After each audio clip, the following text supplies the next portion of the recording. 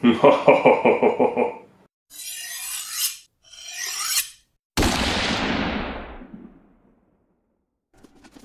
welcome back to the shop. Today I have another tool review for y'all on this microscope from Vevor.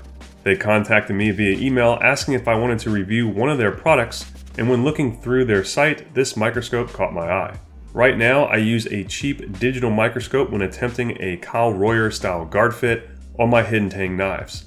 This fitting style is a tedious procedure in which the maker removes material from the guard in order to recess the ricasso into the guard thus preventing any gapping. You can also see me use this digital microscope and rotary burr in my recent fantasy knife build where I did the reverse of the Kyle Royer guard fit and actually removed material from the ricasso in order to fit my blades into the center hub. While I got the job done, the picture clarity on the screen isn't terribly sharp, which is critical for seeing what you're doing on this tiny scale. For this fact, as well as my desire to eventually do some precious metal inlay, this more professional grade microscope really intrigued me.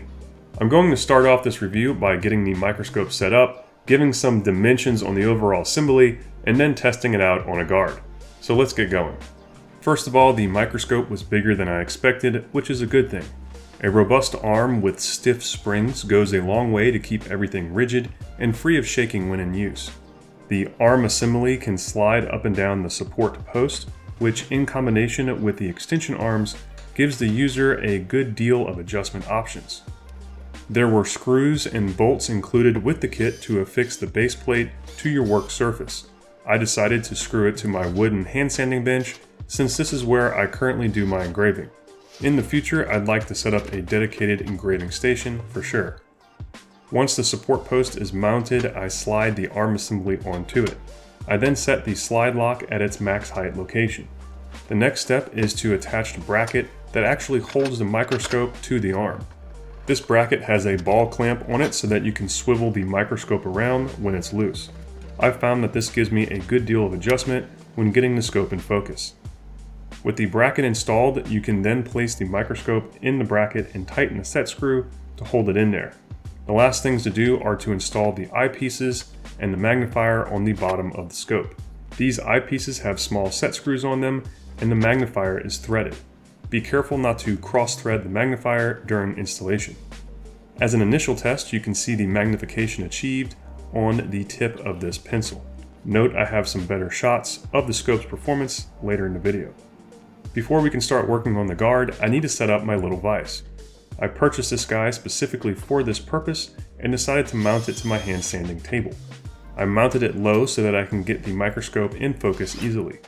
The cool thing about this vise is that I can rotate in just about any direction and it's built out of robust enough materials to get a firm grip on the workpiece. As a side note, they also make some brass jaws for this vise that I later purchased. If you're interested in this vise or the microscope, I'll be putting affiliate product links in the description below. My first impression after getting this dialed in to start working on this guard is that the picture quality is way clearer when you're dialed in on these eyepieces. You have a, a much larger field of view, it feels like, and uh, it's kind of like putting blinders on. You can see kind of what you're doing uh, to a higher detail. One issue I had with the cheap microscope is that there was a lot of vibration and the little screen was moving around a lot whenever I was trying to use it to, uh, to, to engrave away a little bit of the guards. So, you know, I think that could have been fixed if I had a better mount for the smaller, cheaper microscope. But I don't know if the, the, the picture quality would ever be as good as a higher quality microscope like this one, obviously. I do think that I'll still use the smaller microscope if this all works out and this is the go-to. I think I'll still use the smaller microscope as a filming option just because it did record, which was a really nice feature of the cheap little microscope. So it can kind of be my camera whenever I'm doing engraving work, and then I can just focus on using the main microscope for actually seeing what I'm doing.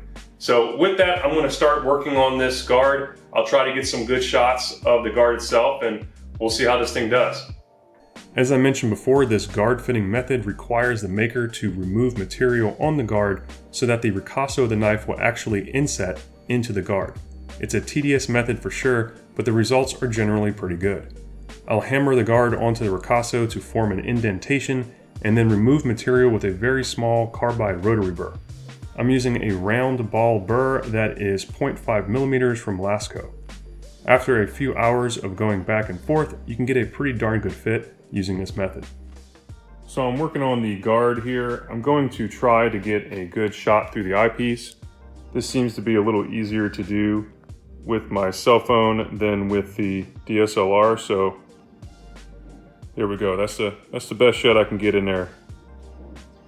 You can see how nice and crisp the image is, and also how large it zooms in to your working area. This is probably about the max zoom that you can get with this thing.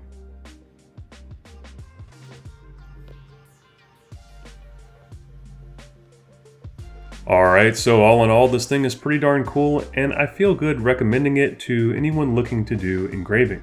I'm sure it would also do a great job with precious metal inlay, since that work is on the same scale I'm working in with this guard. From what I can tell, it's the cheapest microscope in this quality level category, and if you're interested in picking one up, I'll put affiliate links in the description of this video. As always, I hope this review was helpful to someone, and I'll catch y'all on the flip side.